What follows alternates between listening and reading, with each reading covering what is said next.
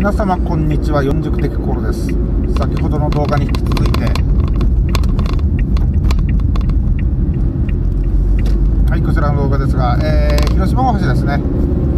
えー、広島呉道路の一部ですね。一部なんですけどここだけすごく早くから開通をしてました、えー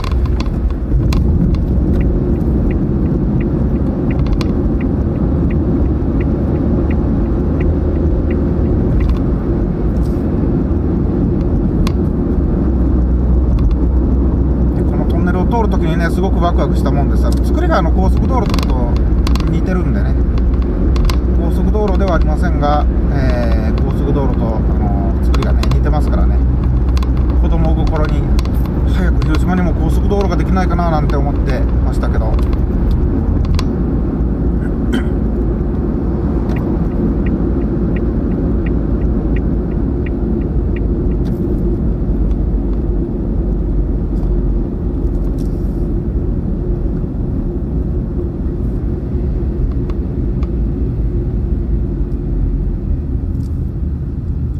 私はあの係員に全部ねお金を渡してましたからね。このゲートが全部全開でもあの渋滞してましたからね。そう考えるとこの ETC っていうのはすごい便利ですね。自動樹脂の機械のところもあるんですけどやっぱり人間がやるとそれだけで大渋滞にですね。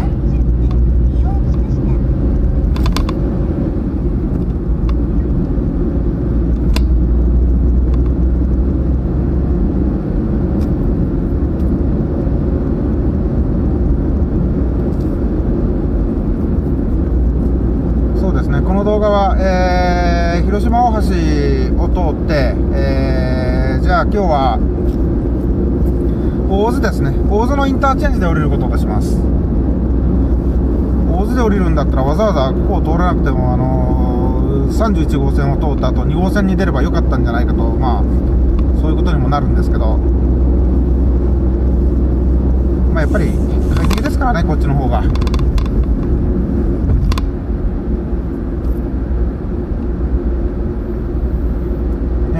左側に見えますのは黄金山ですね、えー、かつては、えーと、黄金山は広島テレビと RCC ですね。広島テレビと RCC 中国放送の、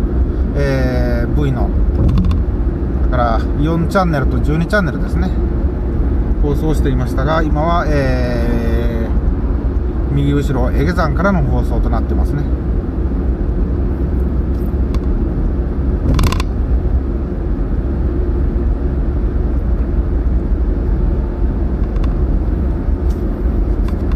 ですね、ここのインターチェンジが、あのこの今の形でこう開通した時にやっと広島も街になったなみたいな気がね、しましたね。で、昔はこの広島大橋、このまま降りたらこう、このまんままっすぐ行って、あの、日本の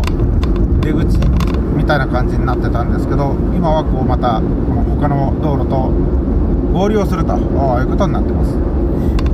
昔はこの高架の下の辺がね、出入り口になってました。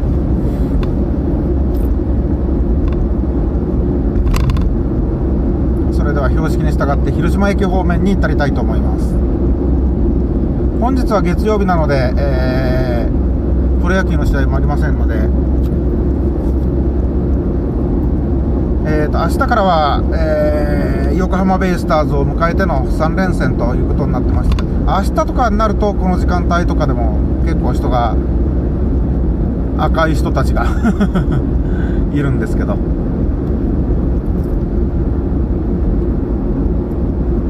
まあでも、ああ、でもそうですよね。昔、昔かあのコロナ騒動とかになる前とかだったら、こういう月曜日とかでも遠方からですよね、わざわざ新幹線に乗って、マツダスタジアムのそのショップへ来るっていう人もね、いらっしゃいましたけど、まあそれは今日とかでもいらっしゃるかもしれませんけど、まあ数は圧倒的に少ないはずです。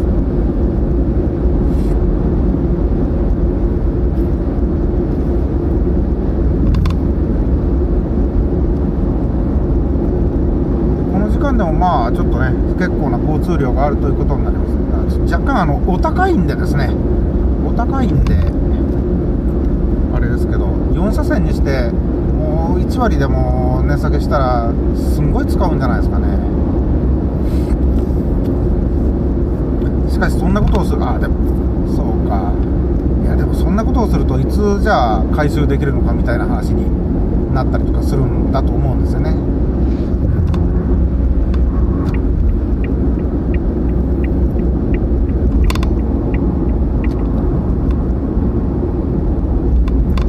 ですね。あっという間にこの大相撲出口ですね。で左後ろからのランプは東雲インターチェンジから入ってくるとこのランプへ至ると。でこのランプから出るには大津で出ると。いうことになります。同じ方向であの幾区のインターチェンジでその入場出場ができないというですね、え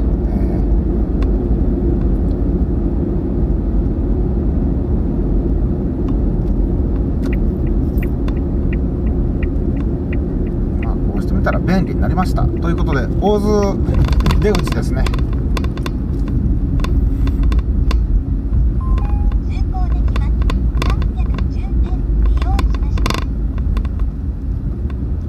この区間の310円が軽自動車310円が高いのか安いのかなんとなく高い気がします。というのが山陽自動車道が広島から広島東まで走っても200いくらぐらいなんですよね普通車で。確か。いやもうちょっとしたかなな同じぐらいかちょっと安いかぐらいなんですね山陽自動車道の方がそう考えるとこの区間でこの価格はちょっと高いかなと思いますけどまあ利便性を考えればあまり文句も言いませんということでですね、えー、この動画はここでおしまいにしたいと思います。本日もご視聴ありがとうございました。